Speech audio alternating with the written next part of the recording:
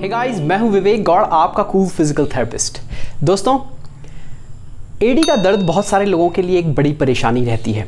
और कई बार तो कई हफ्तों तक, महीनों तक इलाज लेने के बाद, कई तरह की दवाइयाँ खाने के बाद और यहाँ तक कि दर्द का इंजेक्शन लगाने के बाद भी कई लोगों को एडी के दर्द में कोई ख़ास आराम नहीं आता। तो आज के वीडियो में मैं आपको ये बताने वाला हूँ कि एडी का दर्द किन डिफरेंट एरियाज़ में एडी के किन डिफरेंट कारणों से हो सकता है। तो चलिए शुरू करते हैं, लेकिन उससे पहले अगर आप नए सब्सक्राइबर हैं और अगर आपने बेल आइकन नहीं दबाया है तो दोस्तों सब्सक्राइब करने का कोई फ़ायदा नहीं है। और साथ ही मैं आपको ये भी बताऊँगा कि हमारे पॉडकास्ट जो कि कास्ट बॉक्स और स्पॉटिफाई पर अवेलेबल हैं, उनको वहाँ पे सुन सकते हैं। यूट्यूब पे भी सुन सकते हैं, मैं उनको डालता हूँ यहाँ पे यूट्यूब पे भी। बट और बेटर ऑडियो एक्सपीरियंस के लिए आप स्पॉटिफाई या कास्ट बॉक्स पर विवेक गौड़ फिजियोथेरेपिस्ट चैनल ज़रूर सब्सक्राइब करें और हमारे रिसेंट लेटेस्ट पॉडकास्ट वहाँ पर आप सुन सकते हैं। आइए शुरू करते हैं। सबसे पहले बात करते हैं एडी के सबसे पिछले हिस्से की। तो वो साइड व्यू में कुछ इस तरह से दिखाई देता है। और पीछे के व्यू में कुछ इस तरह से दिखाई देता है।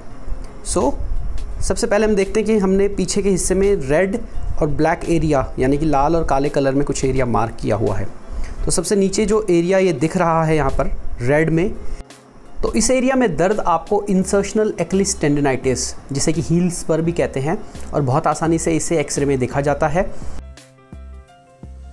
आपको एडी के पीछे की हार्ड सूजन, जिसे कि हैगलन डिफॉर्मिटी कहते हैं, उसके कारण भी आपको यहाँ पे दर्द रह सकता है। साथ ही रेट्रोकैल्केनियल बर्साइटिस जैसी कंडीशन के कारण भी यहाँ पर दर्द महसूस हो सकता है। दोस्तों कैल्केनियल बोन के फ्रैक्चर या फिर एवर्जन फ्रैक्चर का दर्द भी इस एरिया में आपको महसूस हो सकता है। अब अगर हम बात करें इस ब्लैक एरिया की, यानी कि काला एरिया जो मार्क किया हुआ है, यहाँ पर एक्सक्लूसिवली एक्लिस मसल की प्रॉब्लम जैसे कि एक्लिस टेंडेनाइटिस और एक्लिस मसल के टेंडन के रप्चर के कारण पेन महसूस हो सकता है। दोस्तों, अगर हम बात करें एडी के बाहरी हिस्से में इस ब्लू एरिया की, ये जो ब्लू एरिया मार्क किया हुआ है तो इसमें आपको दर्द पेरोनियल मसल के टेंडेनाइटिस होने के कारण हो सकता है।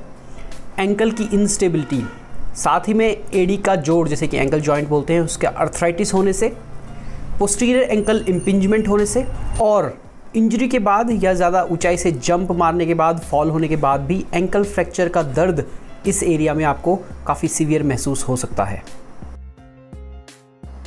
आगे बढ़ते हैं और बात करते हैं इस ग्रीन एरिया की, जिसको मार्क किया है मैंने, जो कि एडी के जोड़ के जस्ट नीचे यहाँ पर है।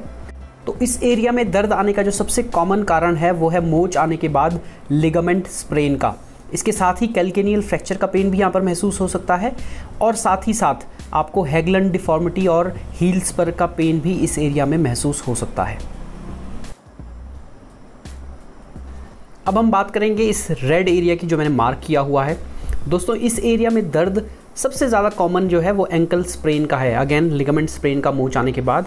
इसके साथ ही लेटरल टेलार प्रोसेस का फ्रैक्चर या फिर एंकल जॉइंट का फ्रैक्चर उसका दर्द भी यहाँ पे महसूस हो सकता है। साथ में ही एंकल के अर्थराइटिस और इंस्टेबिलिटी का पेन भी इस एरिया में महसूस होता है। दोस्तों, ये जो पिंक में डॉटेड एरिया आपको दिख रहा है एडी में, इस एरिया में कॉमन जो दर्द का कारण है, वो है ज़्यादा एग्जर्शन या काम करने के बाद आपको यहाँ पर थकावट का दर्द महसूस हो सकता है और या फिर इसमें इंजरी के बाद या फॉल के बाद कैल्केनियल फ्रैक्चर का दर्द यहाँ पे कॉमनली महसूस होता है। आगे बढ़ते हैं दोस्तों और बात करते हैं टखने और एडी के अंदरूनी हिस्से की, यानी कि एंकल और हील के अंदरूनी हिस्से में, जो सबसे बॉटम में पिंक में एरिया मैंने मार्क किया हुआ है। ये कॉमन साइट है प्लांटर फिशाइटिस की। पर्टिकुलरली ये दर्द यहाँ पर आपको ज़्यादा महसूस होगा। इसके बारे में बहुत डिटेल से हम बात करेंगे और अलग से वीडियो बनाएँगे प्लांटर फिशाइटिस के बारे में, बहुत कॉमन प्रॉब्लम है। इसके अलावा इस एरिया में आपको अगेन थकावट या ओवर एग्जर्ट करके, ज़्यादा काम करके भी दर्द महसूस हो सकता है और साथ में ही कैल्केनियल फ्रैक्चर का बोन का यहाँ पर दर्द महसूस हो सकता है। आइए बात करते हैं इस ब्राउन ट्राइंगुलर एरिया की ट्राइंगल जैसे मैंने जो बनाए हुए हैं।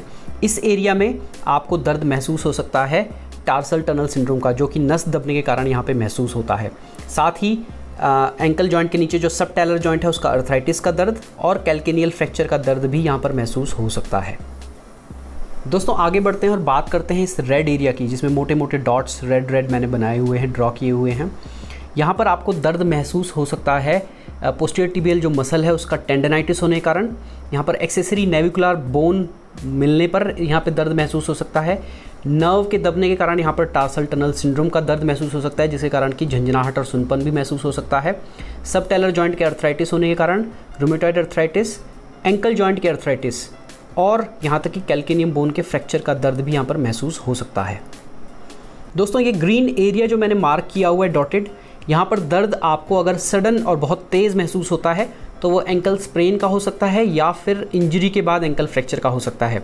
और अगर ये धीरे धीरे डेवलप होता है तो ये एंकल इम्पिंजमेंट का हो सकता है एंकल के अर्थराइटिस का हो सकता है और टैलर ऑस्टियोकॉन्ड्रल लीजन जिसे कि ओसीएल कहते हैं, उसके कारण भी पेन महसूस हो सकता है।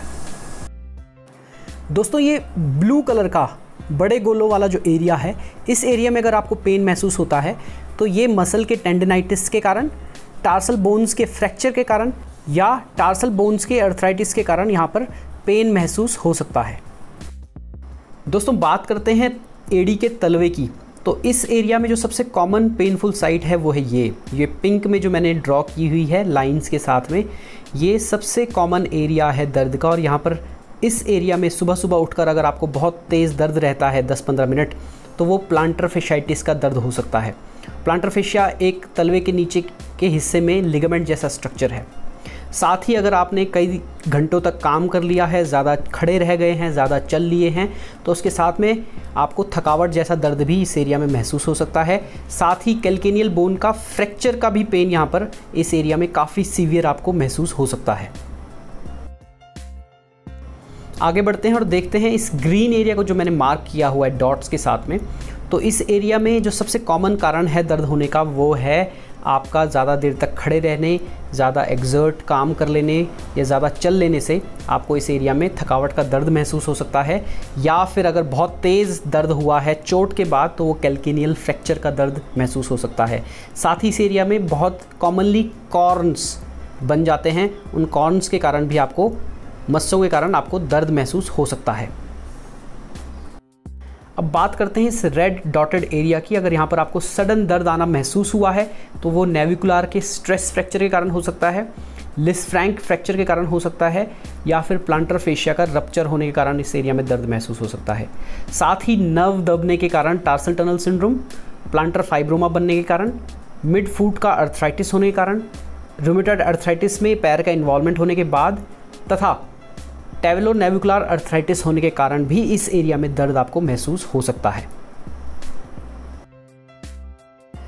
दोस्तों एडी के फ्रंट में मैं आपको बता चुका हूँ, इस जो ब्लू डॉटेड एरिया है बड़े बड़े गोले जो बने हुए हैं, यहाँ पर आपको टेंडेनाइटिस होने के कारण, टार्सल बोन का फ्रैक्चर होने के कारण, या फिर अर्थराइटिस होने के कारण आपको दर्द महसूस हो सकता है। अब अगर हम बात करें इस ग्रीन डॉटेड एरिया की तो मैं आपको पहले भी बता चुका हूँ कि यहाँ पर एंकल स्प्रेन होने के कारण एंकल का अर्थराइटिस होने के कारण और एंकल फ्रैक्चर का दर्द इस एरिया में आपको महसूस हो सकता है। और राइट गाइज़ सो आज के वीडियो में हमने देखा कि काफ़ी वो प्रॉब्लम्स हैं जिनके कारण कि आपको एडी में दर्द महसूस हो सकता है।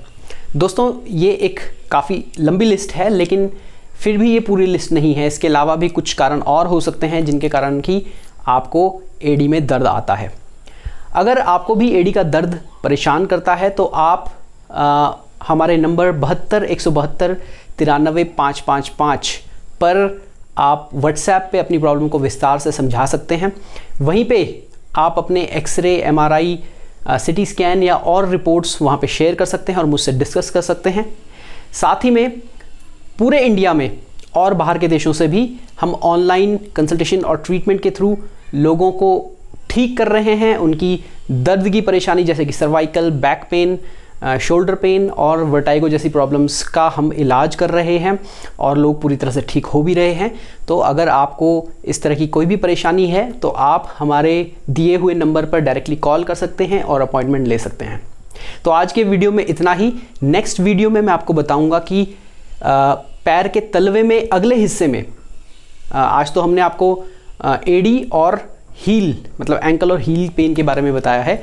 नेक्स्ट वीडियो में हम आपको फुट के अगले हिस्से, यानी कि फोर फुट और मिड फुट में किस कारणों से किन किन कारणों से दर्द महसूस होता है, उन कारणों को आपको बताएँगे। हमारे नेक्स्ट वीडियो को ज़रूर देखिएगा।